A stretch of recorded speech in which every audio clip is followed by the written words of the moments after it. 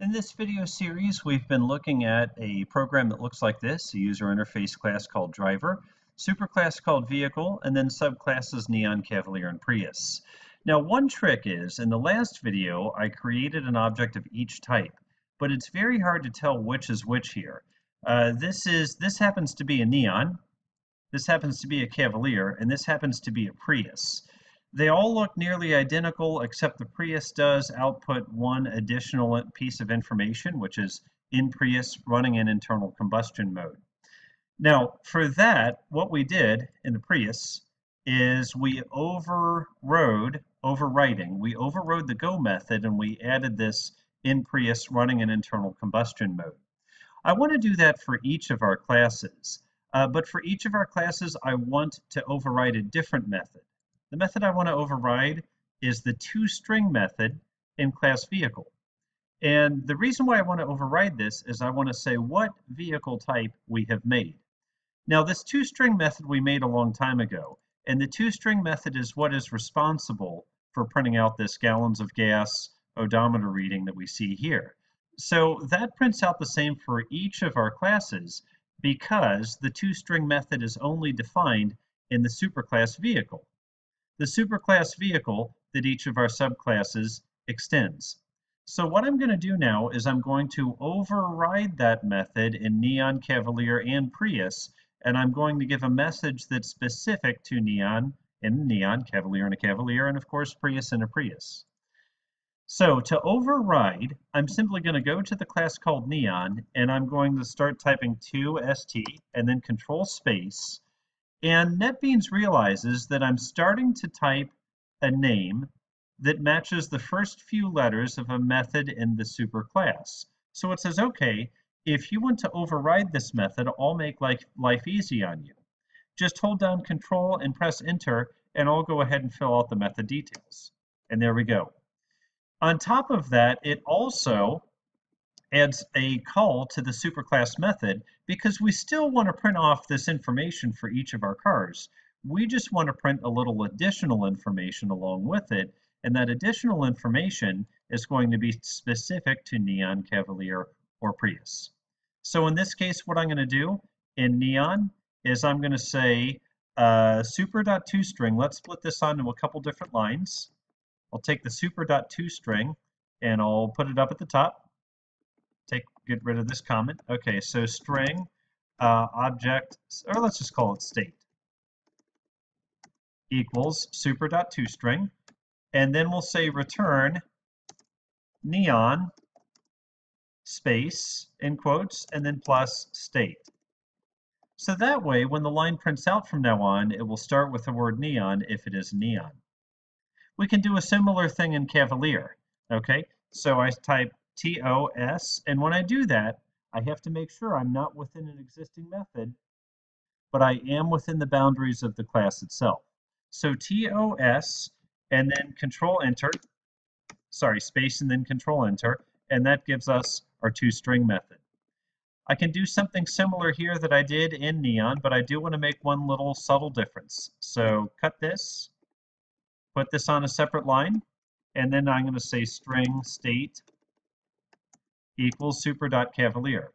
Now what I'm going to do is I'm going to say string cavalier state. And by the way, state, state means what is the value or what are the values of the attributes of this object. So string cavalier state equals um, cavalier, and then we'll say plus, and then we'll say uh, we'll say cavalier. I'll tell you what we'll say cavalier convertible and then we'll say plus convertible. Okay, and then we'll return Cavalier state plus state. See, see, this is going to return the information that's common to all three of our subclasses, but it's also going to say that it's a Cavalier, and then it's going to say convertible, and then it's going to say true or false, reflecting whether or not the user chose to make this a convertible or not. Okay, very similar for our Prius. Let's go ahead and figure this one out. So TOS space, uh, control enter, and it overrides the method. State equals super.toString, uh, string String state rather. Okay, string Prius state equals Prius, and then we'll say plus, uh, we'll say milliamp hours, milliamp hours. We'll make that two different words because we want this to be uh, readable in English. Prius milliamp hours, and we'll say uh, milliamp hours. We'll let that autocomplete plus, and then we'll say uh, miles per MAH. Okay, and plus, and we'll let that autocomplete. Return Prius state. Use that overloaded plus operator to concatenate Prius state with state. Okay, as a matter of fact, I probably want to go ahead and add a space between the Prius state and the state. Let me go ahead and do that there. Probably want to do the same thing for Cavalier as well. So right after convertible, we'll add a space. And I'll save. Okay, let's run the program and let's see what results we get when we create a Neon, a Cavalier, and a Prius. So first of all, we'll go back to the driver program let me expand this, and let's remember where this toString is invoked. The toString is invoked right here on line 127, where we're printing out the value of the vehicle. We're printing out the uh, current state of the vehicle. So this is the after, and you see this is the before as well. Now what's really interesting here is you see this vehicle is a variable of type vehicle. However, the toString method that's going to get called is going to be specific to the subclass. And we'll see that as soon as we run this program. Okay, so just a moment, I'm going to run. I'll go ahead and do a, do a run without the debugger, and then we'll do one with the debugger in just a moment. So create a neon, gallons of gas 10, miles per gallon 10, odometer 10,000. Do you want to create another? Oops, I meant to create another. Uh, we'll go ahead and see that neon, gallons of gas zero, odometer 10,100. Up here again, neon, gallons of gas 10, odometer 10,000. So you see it printed out information that was uh, specific to the neon because our object under the covers is a neon object. Let's run one more time. This time we'll create a Cavalier. Yes, we'll say it's a convertible. 20 gallons of gas, 20 miles per gallon, 20,000 on the odometer go ahead and create another vehicle. This one's going to be a Prius. Uh, milliamp hours, we'll say 30. Uh, miles per milliamp hour, we'll say 30. 30 gallons of gas, 30 miles per gallon, 30,000 on the odometer. No need to create another one. Uh, we'll travel 100 miles with a reimbursement rate of 44 cents per mile. Don't need to create another trip. Okay, now take a look. The Cavalier says Cavalier convertible true gallons of gas 20, odometer 20,000. After running, Cavalier convertible true, gallons of gas 15, odometer 20,100. Now take a look right after that, we have our Prius. Before Prius, milliamp hours 30, miles per milliamp hour 30, gallons of gas 30, odometer 30,000. In Prius running in internal combustion mode, and then the after Prius, milliamp hours 30, miles per milliamp hour 30, Gallons of gas has decreased by 3. Odometer has increased by 100. So this is what's called overloading. This is also something called polymorphism, which is a very important concept in object-oriented programming. What polymorphism means is the variable type tells us what methods we're allowed to call. Very able, able to call. The object type in other words, the object that we're creating here tells us what behavior we'll get when we call those methods. In other words, the object type tells us the objective of the method. So variable type tells us what methods we're allowed to call. Object type defines the actual implementation of the method to call. One other note on toString that might be handy. This one is available in all classes uh, because it's defined at the very ancestor Adam and Eve class level. Every class in Java has two toString. And you see here, when I'm running through the classes, I'm invoking that method specifically in the context of a system out print line. Also remember this plus operator is overloaded. which means if there are numbers on the left and the right of the plus, it's going to add them together. If there's a string on either the left or the right or both, it's going to make sure that it's going to convert the other side, if it's not a string, to a string, and then concatenate the two strings on either side of the plus into one string. In other words, it just depends one string onto the end of the other. Now, this toString method is so common that if we're invoking this variable called this vehicle, and we're invoking it where Java is expecting a string, it will automatically call the toString method. So to be honest, we can remove that toString. I'll do it just in that location. We can remove that toString, and it's still going to work the same way. Let me go ahead and save, and let's run this one more time in the debugger. I'll tell you this, if you get it so far, go ahead and finish watching the video. If you're still a bit confused, honestly, you're probably in about 95% of the people watching the video, and it's worth taking a look in the debugger. I would strongly recommend sticking around for the rest of the video. I'll go ahead and leave the breakpoint where it is there. I'm going to add one more breakpoint uh, down here where we're doing output. Let's see, we'll snap a breakpoint here on 115. And now let's go ahead and debug. So right click on driver, choose debug. Okay, uh, let me expand my window so I can see what I'm doing a little bit better. And we'll choose F8, F8. Okay, we get a prompt here. And always a little tricky to get that uh, message to come up. So first one, we'll go ahead and do a neon. Okay, and uh, F8. Okay, it's creating and returning a neon. It is skipping over the prompts. Let's see, I'll go back to that. Uh, this if test returned false, so it skipped the Cavalier specific prompts. This if test also returned false, so it skipped the Prius specific prompts. So now F8, how many gallons of gas? 10. Okay, and F8, F8, F8, miles per gallon 10 again, and F8, F8, odometer 10,000. You see, we're just getting the very basic prompts because the Neon is a very basic car. Do you want to create another vehicle? Yes. Now we're at the end of the while loop. F8 is going to take us to the top of the loop, and we're going to execute one more time. This time we'll say Cavalier, and OK. F8, OK, create the Cavalier object. Now notice that this if test returned true. My vehicle is a Cavalier, so now we're going to go into this if test, which is going to prompt, is it a convertible? This time let's say no. F8, you see it comes down to the else part, sets convertible to false. Now, is my vehicle a Prius? No, my vehicle is clearly a Cavalier. It's not a Prius. We're going to skip this if test, and then we're going to continue prompting with the other prompts for a car. F8, F8, 20 miles per gallon. F8, F8, odometer, 20,000.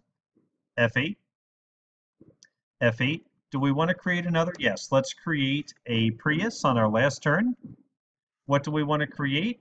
And we're going to say Prius, and OK. Okay, we go down to the factory method, create and return a Prius. Now, is a Prius a Cavalier?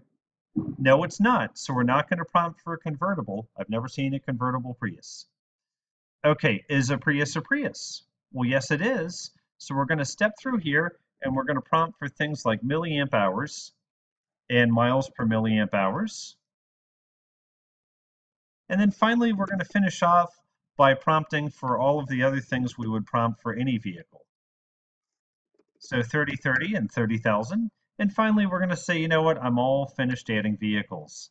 Okay, so we continue. Prompt for trips, distance to travel 100. 44, that means all of our cars are going to run 100 miles. No additional trips needed. Okay, now here's where I'm going to slow down a little bit. F8, F8. This is the first vehicle that we're running 100 miles. Let's take a look at what this vehicle is. This vehicle is the first one we created, which is a neon. Now watch very carefully here. On line 115, I'm going to choose F7, which is going to step me into the toString method. Remember, toString is implicit when we're taking a variable that holds an object and we're treating it like a string. So when I choose F7, where are we going to go? Uh, looks like we went to print ln. Don't worry about that. Let me take us back. I'll tell you what will be a better example is line 127. I'm going to choose F7 here. Up, oh, did it again. Okay, and F8. And we'll whip around, and unfortunately, it looks like my F7 isn't allowing me to step into the toString method. I'm trying, but here, let's see, maybe I need to do, oh, there we go, there we go. I just need to hold down tab, and now F7, and that will tab me in. Okay, for the Cavalier, take a look. We're in the Cavalier's toString method. The, the first iteration I skipped through there was Neon, now we're on the Cavalier. We're in the Cavalier's toString method. Take a look at line 32. Do you see how we're calling toString again? Okay, let me F7 up there, and we're in vehicle. So we get this one line that's common to all of our vehicles, and then we return back to our Cavalier. And if I mouse over state, you'll see it says gallons of gas equals 1.5, I'm sorry, 15.0, odometer equals 20,100. Okay, now, now we're taking that, that line that's common across all three subclasses, and we're going to add to that something that's specific to the Cavalier. So let me F8 over this, and you see Cavalier state is going to be Cavalier convertible false. So we take that Cavalier convertible false, we append to it, using the concatenation operator, the plus symbol, we append to it gallons of gas equals 15, odometer equals 20,100, and that gives us the final line that we're about to see in our output down here. Okay, so just a moment, F8, and watch when I choose F8 here, it's going to print a line after the after right here, F8, and that contains the Cavalier specific string plus the string that we see in all of our cars. Okay, let's go one more time and let's take a look at Prius this time. Okay, so before, we'll go ahead and let that print and now run the Prius and now after, and here again I'm going to choose F7 Okay, notice that, uh, and this is something I hadn't noticed until I recorded this video.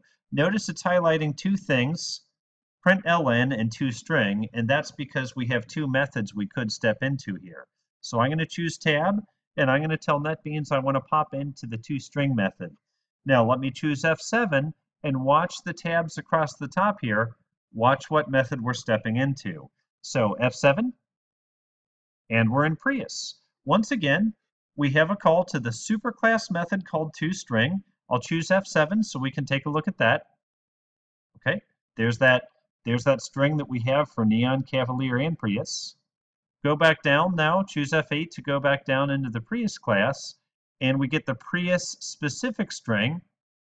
Okay, so state, gallons of gas 27, odometer 30,100.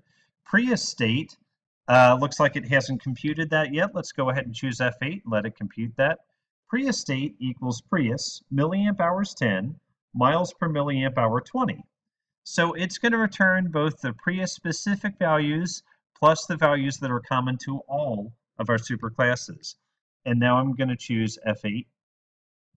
Okay, once again, I'm going to scroll down to the bottom of our output and watch what prints next when I choose F8. Okay, the Prius specific line that's in the Prius's toString method plus the line that's in the superclass. Now we'll go ahead and just uh, wrap up the program with that. So I'll go ahead and choose debug and then continue and we'll let the program terminate. So in this method we saw how we can, I'm sorry, in this video we saw how we can have three subclasses. We can override a method from the superclass, but we can still use that interesting syntax the super dot method call to invoke any common logic that is in the method in the superclass that we are overriding. We looked at two very important concepts of object-oriented programming in this video. One is the concept of overriding. Overriding means we have the same method signature in a subclass as we do in a superclass. We also saw the very important concept called polymorphism, which means variable type tells you what methods you're allowed to call. So variable, what you're able to call. Object type defines the actual implementation of the method that you will call. So let's go ahead and wrap up this video. I look forward to seeing you in the next video where we are going to give more definition to this Go method in Prius, and we're going to give it the option to either run in internal combustion mode or run with the battery. I look forward to seeing you then. Thank you.